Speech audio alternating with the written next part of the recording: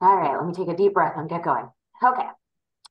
Uh, good morning, everyone. Uh, we are using Zoom for this meeting, which allows for the public to participate in the meeting as an attendee. The chair can request that members of the public provide their names for purposes of keeping accurate minutes of the meeting. The chair will call on those who have raised their hands in the order they, they were raised. All questions should be directed through the chair. As a preliminary matter, this is Chantal Boyce Murphy, uh, Director of Culture and Tourism. Permit me to confirm that all members and persons anticipated on the agenda are present and can hear me. Members, when I call your name, please respond in the affirmative. Uh, Mary Malavase? Here. Liz Holland? Here. Garrison Beal? Here. Sarah Boyce? Here. Matthew Peel? Here. Thank you. Staff, when I call your name, please respond in the affirmative. David Sharp? Here. And Chantal Blois Murphy is here. Anticipated speakers on the agenda, please respond in the affirmative. Marina Disbonnet? Here. How'd I do with that? I was wondering. There you go. Thank you. Um, uh, so good morning, um, everyone. The open meeting of the Visitor Services Advisory Committee is being conducted remotely pursuant to Chapter 2 of the Acts of 2023. Ensuring public access does not ensure public participation unless such participation is required by law. This meeting will feature public comment. However, I do not see any members of the public present. Um, for this meeting, the Visitor Services Advisory Committee is convening by video conference via Zoom app as posted on the town's website, identifying how the public may join. Please note that this meeting is being recorded and that all attendees are participating by video conference. Accordingly, please be aware that other folks may be able to see you and to take care not to screen share your computer. Anything that you broadcast may be captured by the recording. All supporting materials that have been provided members of this body are available on the town's website unless otherwise noted. The public is encouraged to follow along using the posted agenda unless the chair notes otherwise. We are now turning to the first item on the agenda. Before we do so, permit me to co cover some ground rules for effective and clear conduct of our business and to ensure accurate meeting minutes. The chair will, the chair will introduce each uh, speaker on the agenda. After they conclude their remarks, the chair will go down the line of members, inviting each by name to provide any comment, questions, or motions. Please hold until uh, your name is called. Further, please remember to mute your phone or computer when you're not speaking. Please remember to speak clearly and in a way that generates accurate minutes. For any responses, um, please wait until the chair yields the floor to you and state your name before speaking. If members wish to engage in a conversation with other members, please do so through the chair, taking care to identify yourself. After members have spoken, the chair will afford public comment to those members of the public that have joined the meeting via Zoom. Members of the public who wish to speak must state their names and, and be acknowledged by and speak through the chair. Finally, each vote taken in this meeting will be conducted by roll call vote. And um, uh, David, please let the um, minutes show that Niles Parker uh, also joined the meeting. Hi, Niles. Good morning. Good morning. And Madam Chair, I yield the floor to you. All right. Thank you, Shanta. Welcome, everyone. This is the uh, December 12th meeting of the Visitor Services Advisory Committee. The first item on the agenda is the approval of the November 14th minutes that were circulated with the agendas and posted on the town website. Are there any corrections to the minutes? All right, seeing none, may I have a motion to approve as written? Approve. Second. Second, Second, Sarah, thank you very much. By roll call, I will uh, ask for an approval of the minutes. Liz Holland? Approve. Yes. Garrison? Approved. Sarah? Approved. Matt? Approved. And Niles? Approved. And the chair votes in the affirmative as well. Please note the minutes were approved uh, in unanimous consent. Okay, moving on to our third item on the agenda. Welcome, Marina thank you so much for being here with us. Um, for those of you who do not know Marina, she is with the town in the events coordinator. Huge job. We welcome you to be here with us and have a discussion. I think what we would hope to gain is any insight of news or upcoming events or things that we should be aware of uh, for next year, maybe a little comment on this past season and also, just to let you know that Visitor Services is obviously here with um, Chantal and David and the whole Department of Culture and Tourism team to support you in any way. I know Chantal works very closely with you on a lot of events and things that go on. So welcome, Marina. Uh, you have the floor. Um, good morning, everyone. And Mary, thank you so much for introduction. Uh, you saved me some time. Uh, so my position uh, with the town of Nantucket is events and film permitting coordinator. Um, so we review different um, permits for different events, public events and private events, or any type of events that might affect uh, safety, public safety.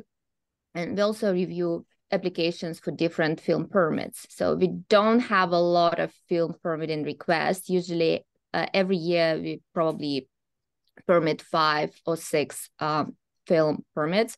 And it's usually just one major film production and other film permits it's just like a small permits that usually don't really impact um, businesses or don't impact public uh, the process uh, of event permitting usually starts with event um, special event application uh, right now we have only one type of application it's a special event application and it's all inclusive application. So if applicant needs one day per pouring permit, beer, wine, or alcohol, or they need one day entertainment, or if it's a beach event, or if it's a special event application for sport events, they start with the same application. So that one type of application covers different areas that uh, applicants need to think during their uh, planning process. So we have questions about um, food. So we, it's like so I look at our, this position and this application, we're like a gatekeeper. So we start this applicant start with us and then we review. And if we see some concerns with that application, we would direct uh, people to different departments.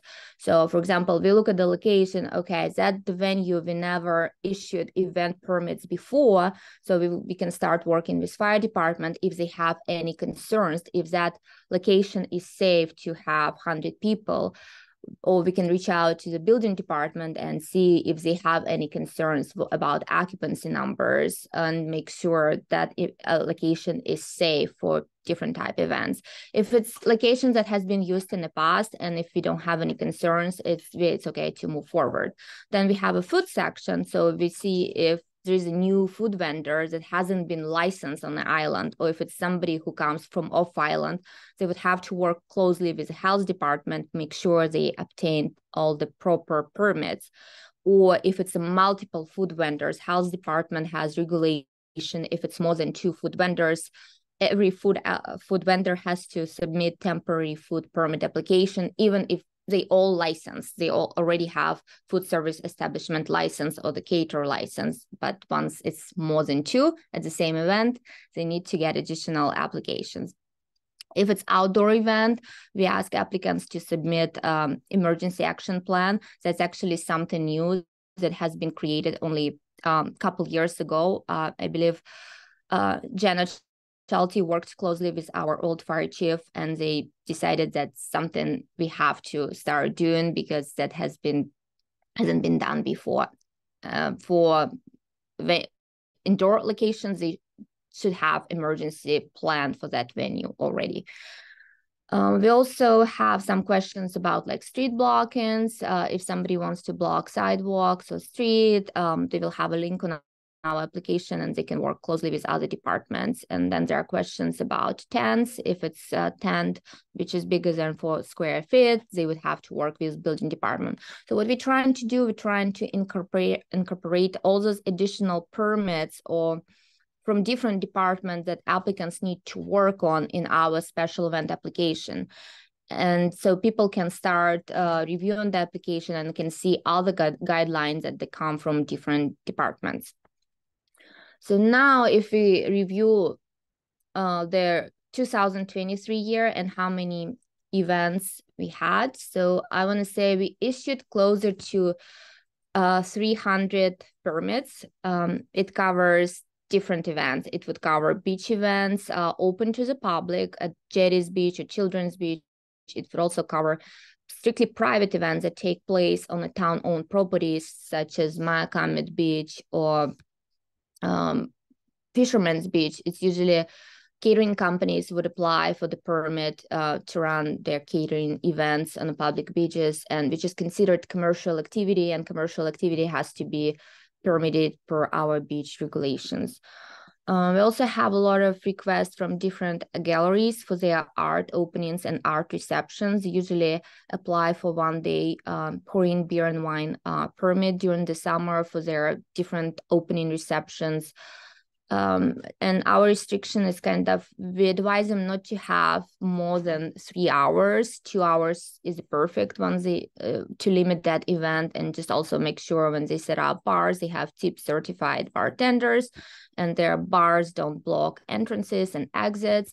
And um it, like in the past we had couple galleries requesting dj uh so when they ask to have a DJ at the gallery, uh, that becomes kind of an issue because um, they would have to have a inspection, pre-event inspection with the fire department. And once we get into entertainment and specifically DJ and dancing, there are different requirements that come from the fire department.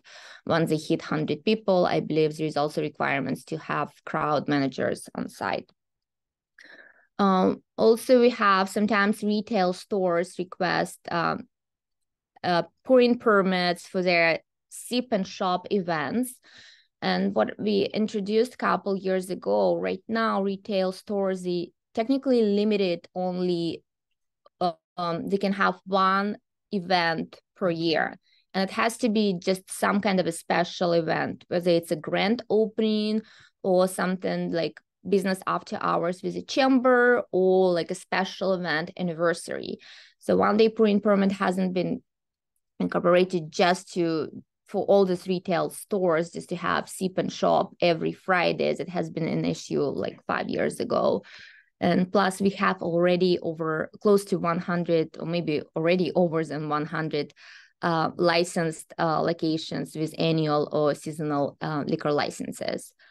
So out of those 300 events, I want to say most of those events, it's just the annual events. They happen every year. It's just different, uh, sometimes different time of year. Um, and we don't really get a lot of new requests for like public assembly events. Public assembly event, it would be event uh, which expect to have more than 250 people under our um, bylaw and regulations, if you expect to have more than 250 people, you have to go through public um, assembly permitting, which would require to have a special um, meeting with select board, where select board would have to review and approve. So anytime you want to plan 250 or more event, and if it's um, not a licensed venue uh, like for example vfw it's already a licensed venue and they already have um, ability to host more than 250 people. So it's technically we look at the location. Or anytime there is a significant change you would have to go through the select board. As an example it could be uh, road race as a firecracker. Years ago they had a different route. It, they would start at the um, on the youngest way and um, go through the rotary and Monomoy. So that was a lot of huge impact on the traffic. So they had to be relocated to different location. So now, now Firecracker has been relocated to the jetties. They start at the jetties beach and they have it on the 4th of July. And they just do Brant Point Circle um, monument group run and then back to the jetties. So from public safety standpoint, that location worked much better. There is less um, traffic congestion and it's just better for everyone. Uh, what else? Um, so we don't really open our event permitting process and application for like 2024 year until January. What we do right now, we have all these like annual events that happen every year uh, for example, at Jetties Beach, like Swim Across America, uh, annual Sandcastle, uh, Boston Pops, or triathlon. What they do is they just reach out to us and say, this is a date we're planning to have, just save the date. We will mark it on calendar so we don't have any conflicts in the future. And then we can start working on the permitting process uh, later, like um, just in the spring. Um, what has been ha- like also what has been happening recently uh, some organizations and some events, they will start selling tickets or advertising event uh, without even submitting special event application, which we usually do not encourage to have any press releases to sell any tickets unless you went through the initial like point. And like you can submit special event application. We can tell you right away if we have any concerns what needs to be done to move forward and after that you can while you're working on all the permitting requirements you can do some kind of a press release and start selling tickets. Usually we don't have any concerns with like annual events but sometimes like new event we would just want to work out an event permit first before they start selling tickets. Um that's pretty much it. Any questions?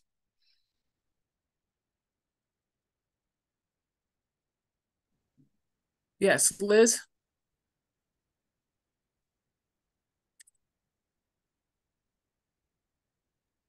Mu- Uh, there you yeah, go.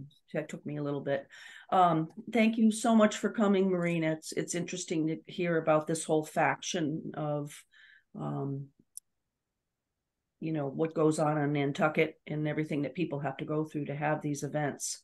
Um, I was just curious about weddings. I'm assuming weddings would be also part of the permitting process, especially if you have uh large numbers, are they? So with weddings, um, we usually get involved if it's um if it's an event venue without um annual or seasonal liquor license.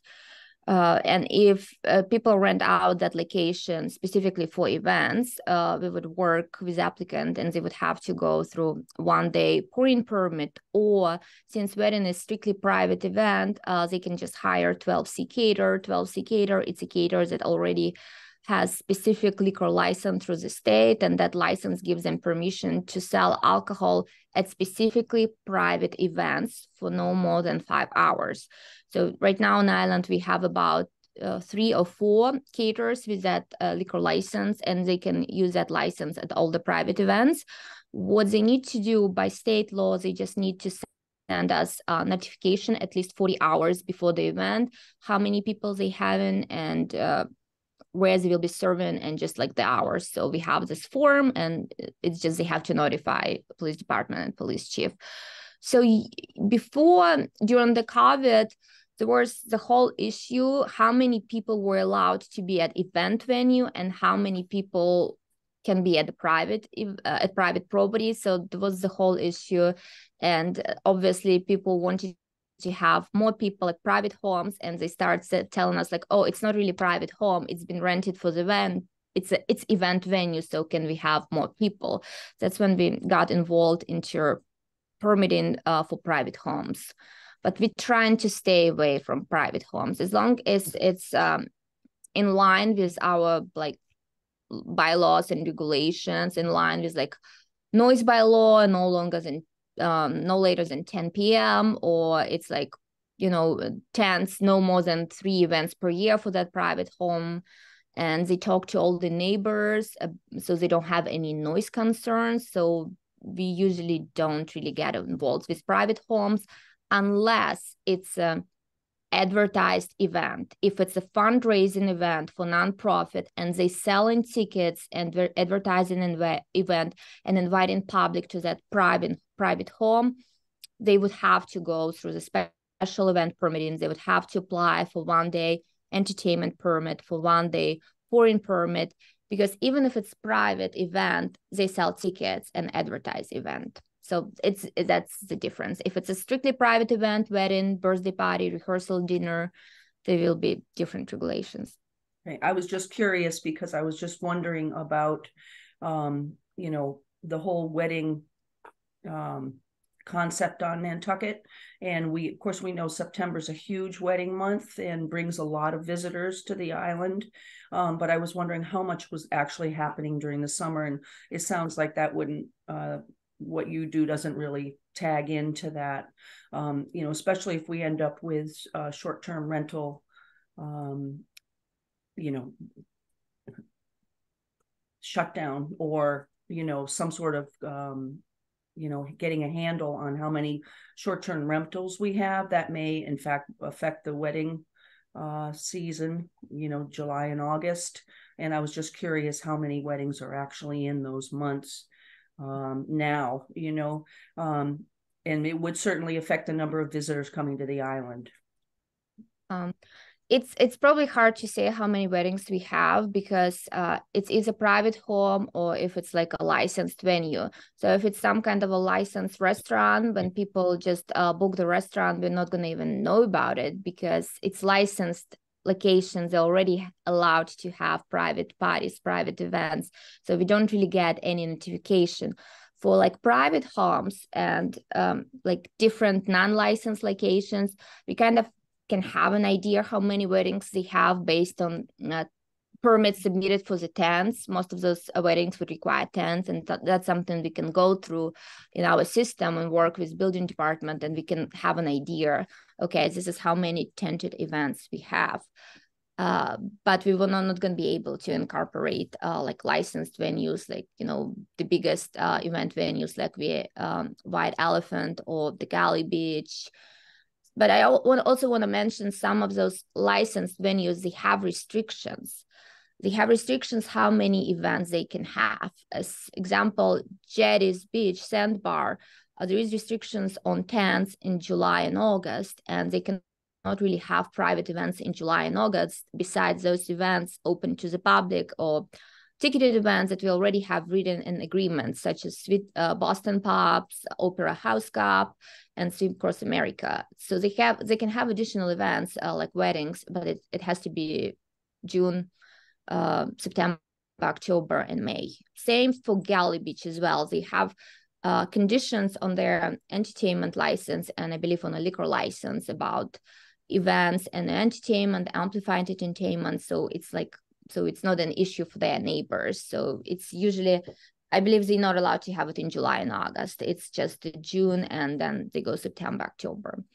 Same for summer house. So I believe most of the licensed venues have restrictions for July and August. So that's kind of that's why they're pushing all those weddings to happen either in early season or later in season.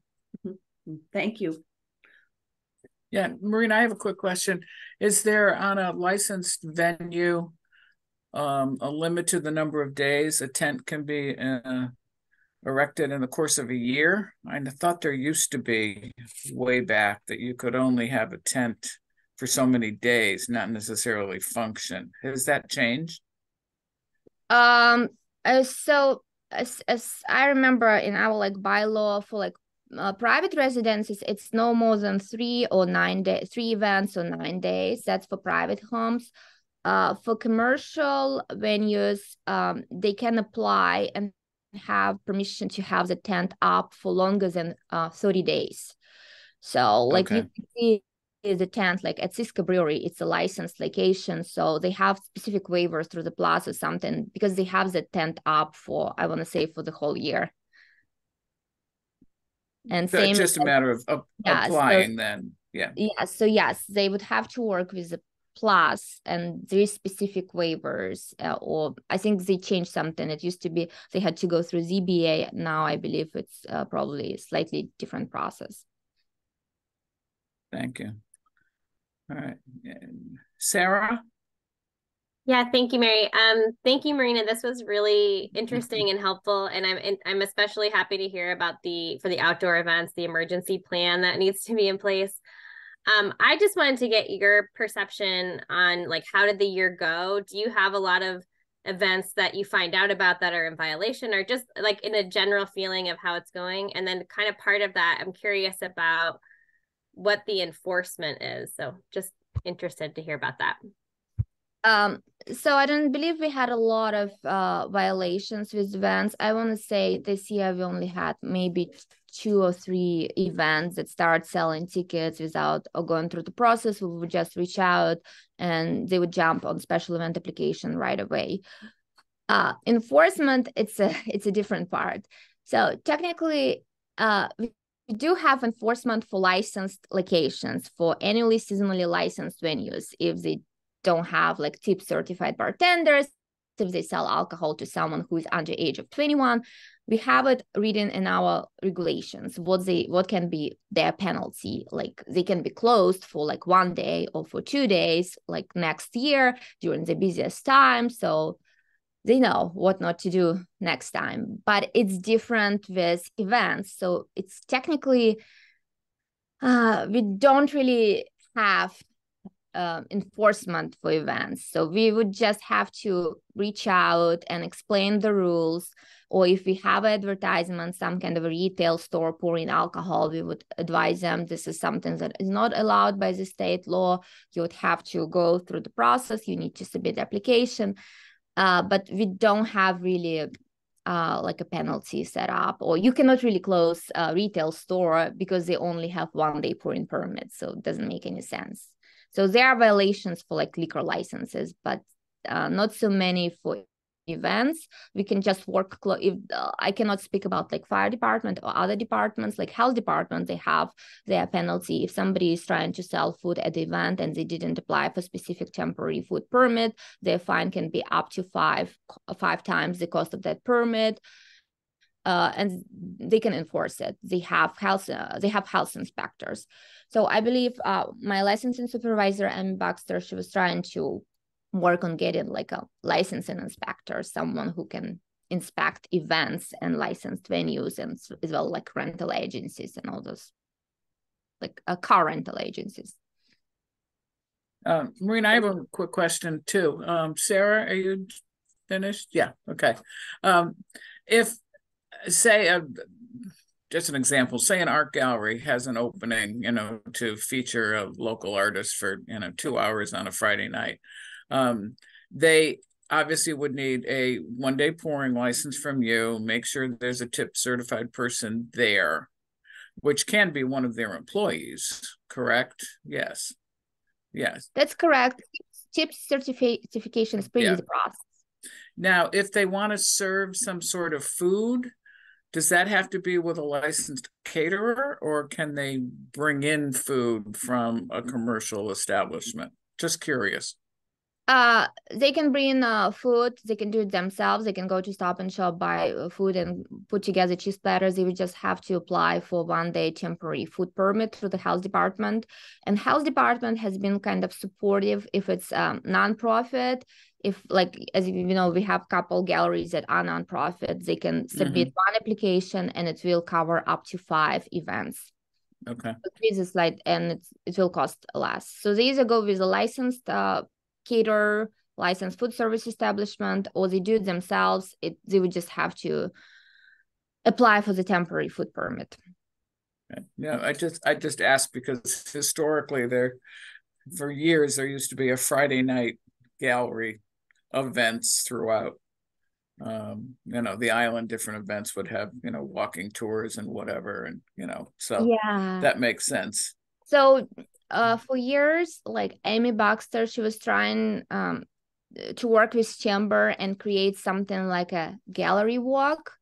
So we mm-hmm. have like one friday every month in the summer we have all the galleries on board and they do gallery war- walk and we will work with galleries. We probably will have like uh you know like uh different um fee for this permit.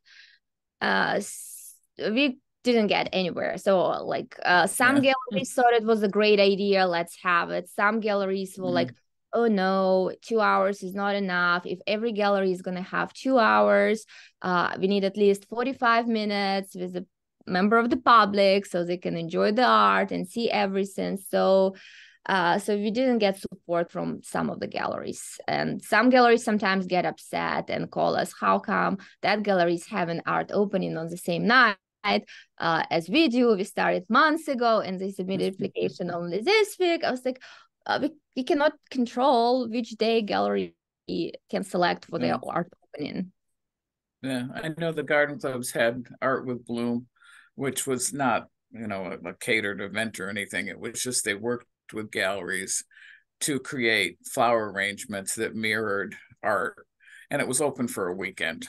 You know, so anyone could just stroll through during their normal business hours and um, just to get activity in the galleries, especially when the people weren't buying art during economic downturns. But uh, yeah, we need to support our artists. So, anyone else have any questions for Marina?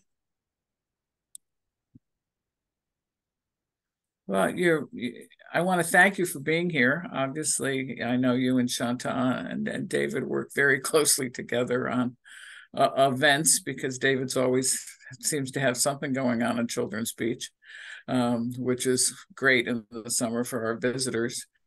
Um, if there's any time that you think we might be able to assist, um, obviously this this group is here, especially Shanta and David, to help you. Um, I appreciate you coming in and giving us your time today. Um, you're more than welcome to stay on for the rest of our meeting, but you don't have to. Um, and is there any other questions for Marina? Okay, if not, I want to thank you for being here. And um, it thank was very so informative. Yes. Thank you. I'll stay.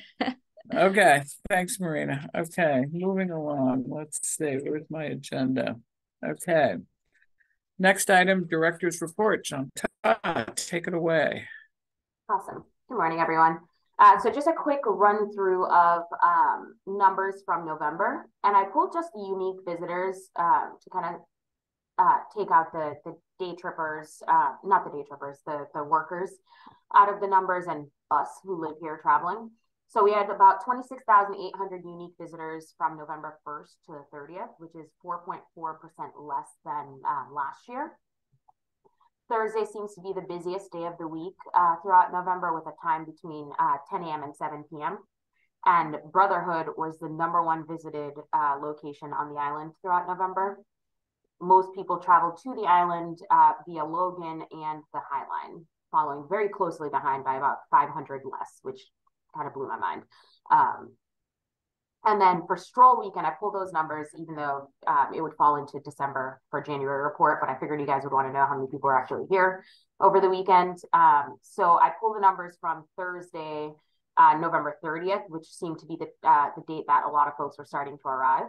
And um, I wanted to see when they would get a full view of the weekend. So I pulled for um, till Monday when they were leaving. Um, so we had about 21,900 unique visitors to the island over stroll weekend from so Thursday to Monday. Uh, it's 5.8% more than we had last year and 71.9% more than we had two years ago. Uh, the busiest yeah. day obviously was Saturday um, with 17.1 um, thousand 17,100 people um, visiting the island on Saturday and their busiest time was between 11 a.m. and 7 p.m. And the top five visited places were uh, Straight Wharf Restaurant, the Hy-Line Ticket Office on Straight Wharf, uh, Brotherhood of Thieves, Nantucket Hotel, and the Club Car. And the uh, top uh, ways they got here was through the Hy-Line, the steamship following closely behind, uh, Logan, C Street. I was um, pleasantly surprised to see them on the list, and uh, Westchester Airport. So that's that's what I have for um, visitor trek to the island. Um, one of the things that the Culture and Tourism Office is working on um, for to hopefully launch by next month. Wish me luck. Um, I'm going through the training process right now. Is um, becoming a passport acceptance um, office for the town because we don't currently have one. It was previously through the Health and Human Services, and unfortunately, the person that was um, uh, licensed by the Department of State to do it retired and we just haven't been able to get anyone else um, hired or interested in in taking on that role. And now that I'm in day two of the training, I see why. but I'm hoping to, you know, to get through that by the end of next week and um, get it up and running for to kick off next year for the visitor services office to start accepting passports because um, it's a lot for people to travel, especially people with kids getting their passports for the first time to have to make appointments to go off island. And if you're lucky, you'll get an appointment at the Hyannis, um, um, what's it called, post office, which is where we trekked. So um, that's that's kind of the, the big thing we're working on right now. That's a passport office. That's exciting. Um, I know it's been a long time since we've had someone on an island that was able to, um, you know, help, especially first time renewals are pretty easy, but first time passports can, can require a lot of paperwork. Uh, uh, I have a, I have a question about last month when you commented on the Placer AI, which I have to tell you, I honestly don't understand any of this stuff, how it how you get all these numbers. I think it's sort of magical. Um, but you know, someday you can give us all a class because I, I, I find it fascinating. But one of the questions from you know the minutes of last month, which I didn't have time to ask, was, um, and I mentioned it to David earlier.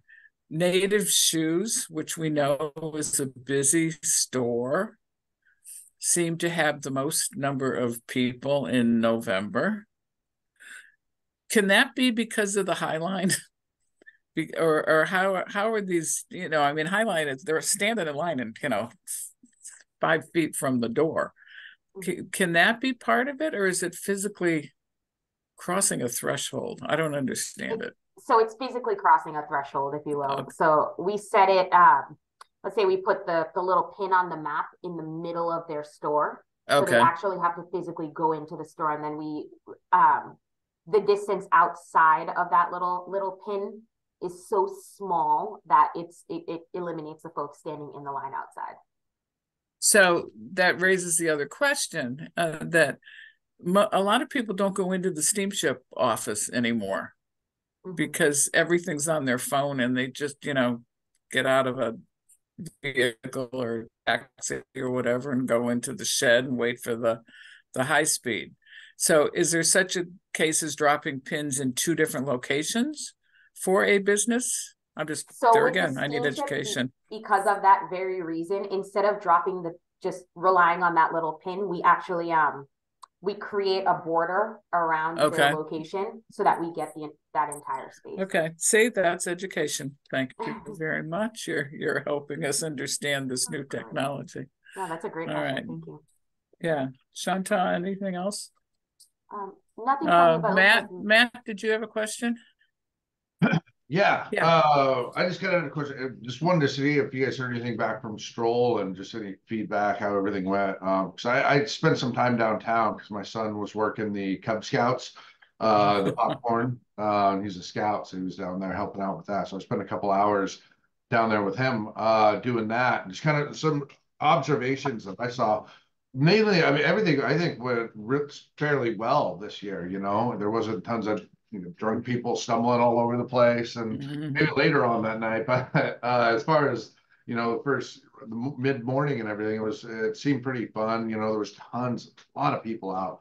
Um, turned out to be a pretty decent day too. Um, but as I, I for, for some reason, I feel like I remember porta potties downtown in the Stopping Shop parking lot last year, and uh, didn't see any this year. And maybe I'm remembering wrong or something, or maybe it was a different event or something. But that was kind of the biggest thing I saw was kind of lack of bathrooms for all of the shopping kind of down there.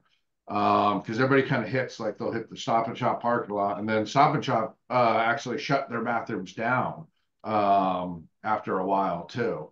And so people were trying to go over to like Nerda or other places and, and kind of scrambling all around to find bathrooms. So I don't know if, if anybody talks to the Chantal, if you talk to the chamber or anything like that at all, it's mm. something kind of think about maybe for next year as far as them just having some porter potties in that stop and shop uh, bathroom because and then you go down to the straight wharfs and the boat basin bathrooms and there's just a line of you know 20 30 people down there as well so we had our um we we had our internal recap meeting and then um we had our meeting with the chamber as well yesterday to go over all of this and one of the things was discussing porta potties. They've never been required as um, far as my memory goes uh, to have porta potties down there and they certainly didn't have any last year um, or the years before that um, when i was over at the chamber. But we did talk about it for going forward that it might be it might it, it, it will be a requirement um, for them to have porta potties. Yeah. and um, they'll we'll work with them to figure out where the best locations for those are yeah. Because we, we recognize that, you know, the stop and shop parking lot might be a little tough. But there were a lot of bathroom issues over stroll weekend. I think that was that was the number one thing, trying to get the bathrooms cleaned and working with the with the cleaners to make sure they were staying on schedule and bathrooms that were backed up that were previously expected to be public restrooms available that had to be shut down bathrooms who were supposed to be open that decided they weren't going to be open to the public that day, which is against the law. Um, so, so there are a lot of bathroom issues that I'm working through right now um, mm. for to make sure it doesn't happen again last year. But that's a great observation. Yeah. Yeah. Yeah. But other than that, I thought it was I thought it went pretty yeah. well. So yeah. Sarah, did you have a comment or question? Yeah, just real quick, kind of piggybacking on on Matt's comments. Um, I was gonna say I was downtown. Also, tons of people. Everybody was happy, and not the stumbling drunk people that I've seen at ten in the morning on Stroll before. Um, my two comments, and this is basically for the chamber, but just you know, kind of get it out in our notes here. One was the bathrooms. Um, I don't know, just Shanta for future reference, the boat basin bathrooms, some of them were closed. And so people were like actually waiting in line and then realized that they were locked and closed. So I don't know like what who decides when the boat basin bathrooms are decided to be closed, but like I know a lot of people that were the the wharf where um Yoshi's is was like insane because now they have two restaurants and people like didn't have anywhere to go to the bathroom. Anyway, that's that's one note. The other thing that I heard a lot is I know, you know, like my son also was a scout forever and was downtown in previous years. So the that area of Stop and Shop, it used to be called the nonprofit marketplace, and it was mainly for nonprofits and selling items and food and things. And now it has become stores from off island. So there's a, many different businesses that have the word Nantucket in their name that aren't from Nantucket. Like they don't ever, they're not on Nantucket except for Stroll. And I heard from many people that it kind of rubbed people the wrong way. Um, and so I, I was just curious about the evolution of that and if there's a way to, you know, encourage more nonprofits to come back to that, or I don't know. Just it was more of a note. It was it was a little bit. The, the other thing is that there it used to be that you couldn't have a a little stall downtown if you already have a store and there's many stores that have like or a couple that had booths downtown or in the stop and shop area as well as a storefront and so i just didn't want to take away from groups like the boy scouts um, the skating club or like some of the other groups that had booths and then they're competing with like places from greenwich connecticut who decide to make a bunch of money that day so i don't know i just that was more of a note to kind of took away from the Nantucket feel um, in some of those areas. Not the scouts. We love the scouts. no, that's a great observation um, and, and comment. I know that they still offer a nonprofit rate, so it's cheaper for nonprofits to participate in in the marketplace still, and and they get the same um, information. So it's it's really on them to register for the marketplace and man it. As for um, the vendors that are in the market, it's available to all chamber members and they can't say you know simply because you're not uh, a Nantucket business you can't you can't sell in the market. Um, so yeah, I mean those are I'll definitely bring it back to the chamber and share those um, observations with them. I can't guarantee that anything will come of it though. So, but I could yeah, that would rub me the wrong way too. So. Yeah, I know. All right. Any other questions for Shanta? Okay. All right, moving along. Final item on the agenda is Visitor Services Coordinator's Report. David?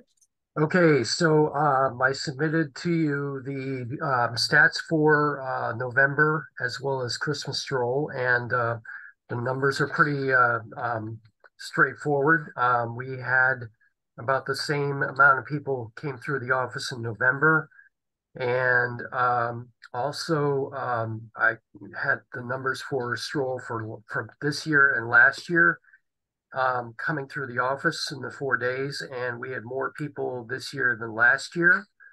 Um, so now that uh, Stroll is over, uh, we are down to um, being open five days a week, uh, Monday through Friday, um, nine to five. Um, and one of the things that I've been doing is putting together the annual Tour of Lights uh, map that uh, just was posted on the website yesterday and um, is available here to take. Um, and so it is this, uh, it's like a fold up thing with uh, the map in it. and then um, on the back is an ex extended, um, you know, um, ramp point thing because uh, we had, I, I can't put it all on the same page the way it's designed, but it's here for you guys to take as well as online. And um, so, uh, you know, I've had a number of people asking about it this year, and we've and so now that stroll's over, it's this is uh, available for you to have until about um, um, uh, New Year's. So um, I don't have any other things to share at this point, but uh, be happy to take any questions. Matt. Yeah. Are, are we still doing the, uh, or is the town still doing the, the contest where they pay the electric bill for whoever has the best lights display like they used to? No, uh, this is because uh, you know, we're just doing it as as a kindness to everybody to you know have them have a good time. Yeah, yeah, yeah, I know that. I just wasn't sure if the town was still had that because I, I No. wasn't there a thing at one point where the town like uh, whoever had the best lights display. There, then there was a contest for that for a while, but it got kind of dicey with you know people getting upset that they didn't win or something like that. So it's just now a straightforward, you know, go enjoy the the tour and and have fun. Yeah, there there used to be teams that would go around and vote on them in cars. I drive Yes. them around. Yes, that that ended a few years ago. I think I was in that last group. Um, but it was a fun night driving around the island looking at all the lights. Yeah. All right. Anything else for David? Okay. Um, moving along, I think there's nothing else for this meeting. Um, next meeting would be January 9th. Um, I'm assuming we will still do January Zoom in the winter. Um, I don't know if we have any suggested speakers then. I haven't talked to anybody yet, but we can see if there's any other suggestions. I know we had a list uh and late earlier in the fall. But I'll work with um Shanta and David to see if we have anything. All right, any comments from any committee members? Okay, hearing none. Can I have a motion to adjourn? Motion to adjourn. Thanks, Matt. Second. Second. Thanks, Niles. Okay, we don't need a roll call for this. Thank you all for being here. Motion is accepted. Um, have a wonderful holiday season, everyone, and we'll see you next year. You Thank too. you. Thanks, you. Mary. Thanks, Shanta.